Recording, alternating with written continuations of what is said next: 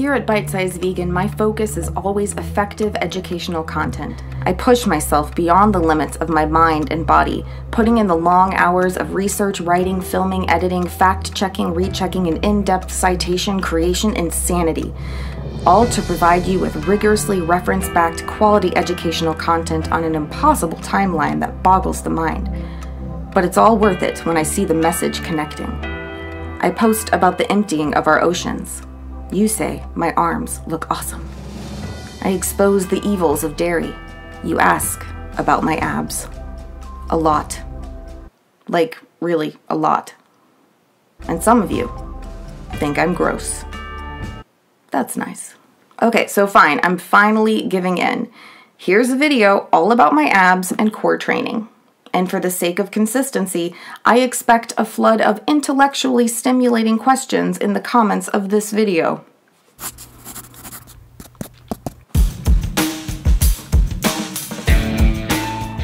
Hi, it's Emily from Bite Size Vegan, and welcome to another Vegan Nugget. Every now and again, I act like a proper YouTuber and bust out a video with a focus on fitness. With the plethora of questions about my abs as of late, I decided to share with you my favorite crunch free moves for 100% vegan, no kill killer abs. Because no one has to die for your gains, including you.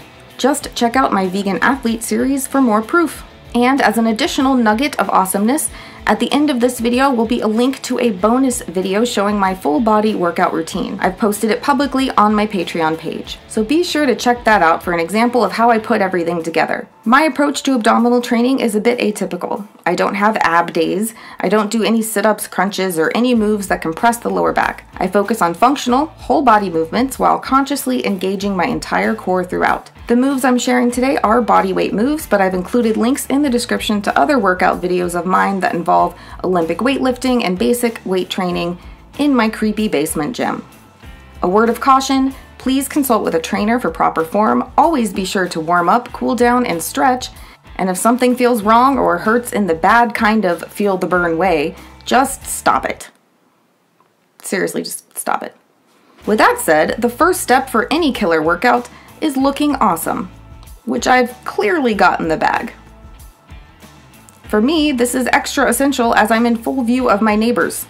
You're welcome, neighbors. Step two is a rousing musical track.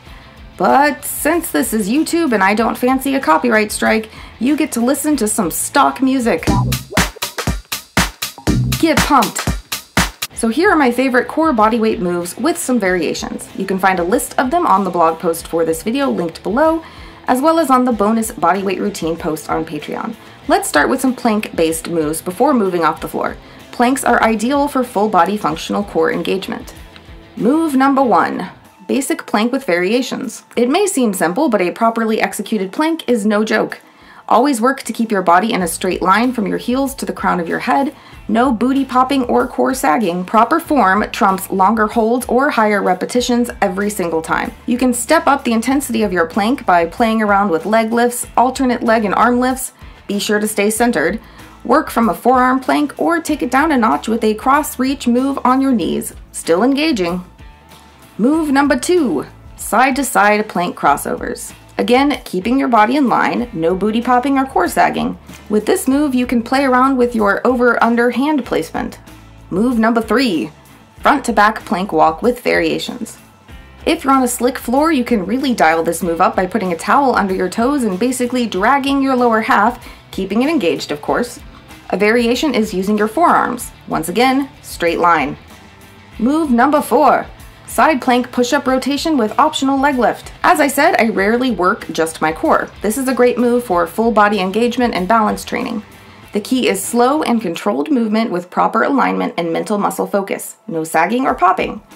To lower the intensity, you can take out the push-up or leg lift and just do the plank side-to-side -side rotation.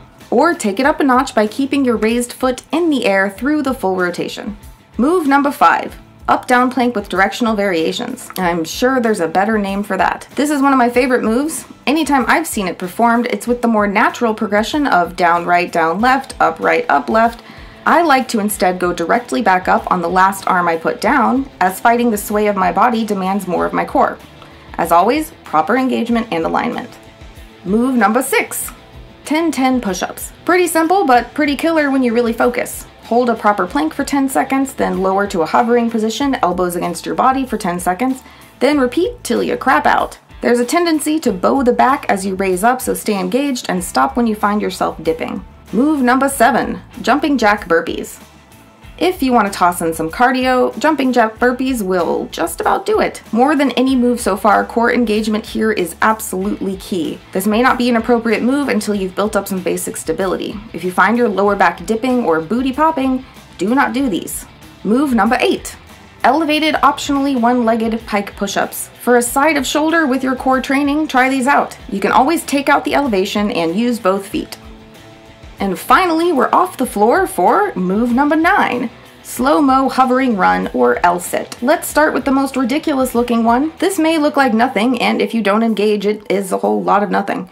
But with focus on the motion, extension, and engaging, it's a nice move. You can also, of course, bust out a classic L-sit hold. Move number 10, Warrior 3 squat with half moon variation. This move works everything.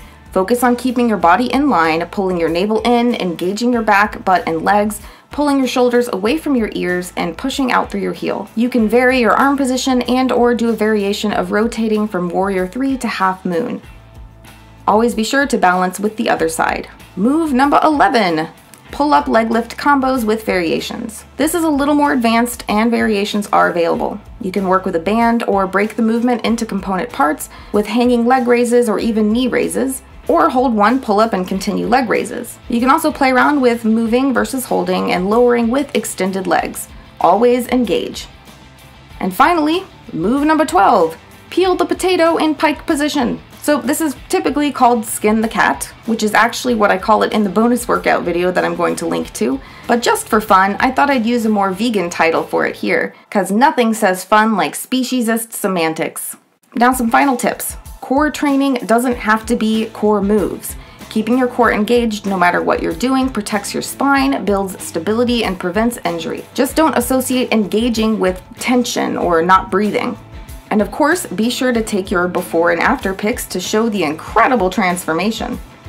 And take any opportunity to gratuitously flex your vegan muscles for any protein concerned observers. Because we vegans kill it without killing. Now go check out the Nugget Army Bodyweight Bootcamp bonus workout where I show you a sample routine. It's linked right here in the sidebar and in the description below. I hope you enjoyed my crunch-free moves for no-kill killer abs. Don't forget to exercise your mind too with the rest of my content, because smarts are sexy. You've already gone to the exercise video, haven't you? Well, to my remaining fellow nerds who are still here, go live vegan, kill it without killing, and I'll see you soon.